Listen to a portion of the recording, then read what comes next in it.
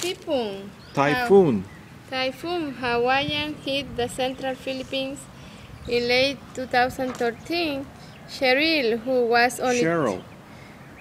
who was only 13 years old at the time, lost almost everything. She said, I lost my home, I lost my mom, I lost most of my family, her father, her mother, and three of her siblings died in the power storm waters.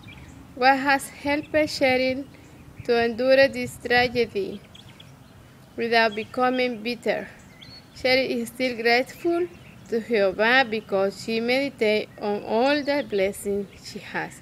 She said, I saw all that the brothers and sisters did to bring relief and encouragement to those who needed help.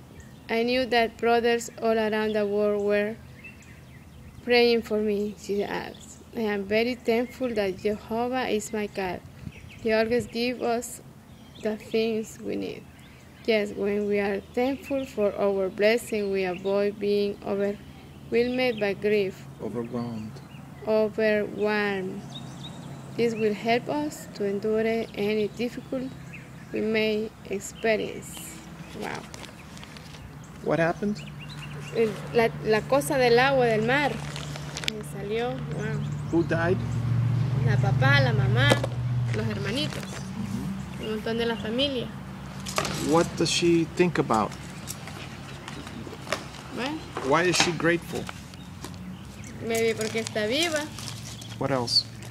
por todas las cosas, bendiciones que ahora tiene, maybe. Who helped her? God, How? I don't know. Está viva. Yes. Thank you.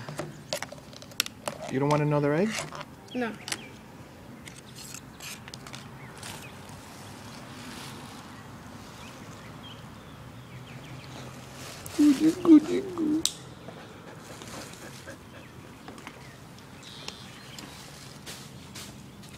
Ahí traje una cobija para que se siente ella ahí en el suelo.